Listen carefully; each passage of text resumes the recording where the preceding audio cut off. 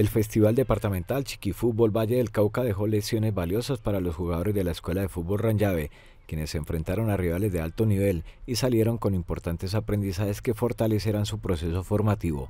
El evento, que reunió a equipos de diversas localidades, permitió a los jóvenes futbolistas de Ranllave medirse ante jugadores con mayor experiencia y talla, lo que representó un reto y una motivación para seguir mejorando.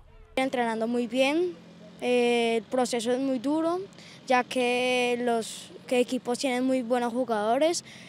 El balance fue un poco difícil, ya que esos equipos tienen un nivel muy alto. Entonces, eh, pues en mi primera chiqui fútbol y a darla eh, con toda la otra baby fútbol. pues mi proceso es cada día ser mejor y superarme. el portero mío, a lo mía, me dio los pases eh, sacando de la portería. Eh, yo anticipé al jugador ya que le rebotó el balón y pues avispándome eh, la punteé y gol. Y el segundo fue igualmente así, sino que pues el arquero no le pasó el balón, sino que le pasó el jugador y ahí yo la punteé con la derecha. El balance para nosotros es satisfactorio porque pues ganamos uno y perdimos pues los otros.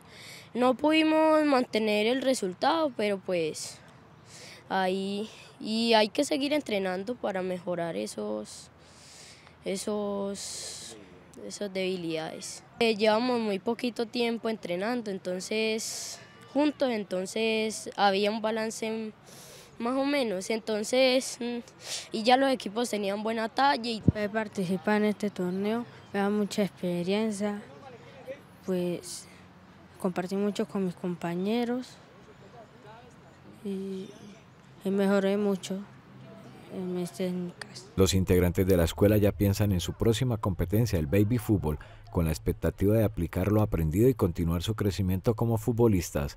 Con el compromiso y la motivación que han demostrado, el futuro promete ser prometedor para estos jóvenes talentos. Pues lo que sigue para nosotros como equipo es seguir entrenando muy bien, alimentarnos, dormir bien y mm, tener buena talla, o sea, conseguir buena talla porque vemos esos equipos y tenían jugadores muy grandes, entonces el proceso para nuestro equipo es que todos tengan compromiso para seguir eh, adelante. durmiendo bien, comiendo bien y seguir entrenando para superarnos. Seguir entrenando y ya, y prepararnos para la baby fútbol. La participación de los jóvenes de Ranyá en el Chiquifútbol Valle del Cauca es solo un capítulo en su proceso de formación. A pesar de que los resultados no fueron perfectos, la escuela sigue enfocada en el desarrollo integral de sus jugadores, tanto en lo físico como en lo mental. El desafío ahora es mejorar las áreas que quedaron expuestas en el torneo y seguir adelante con más determinación.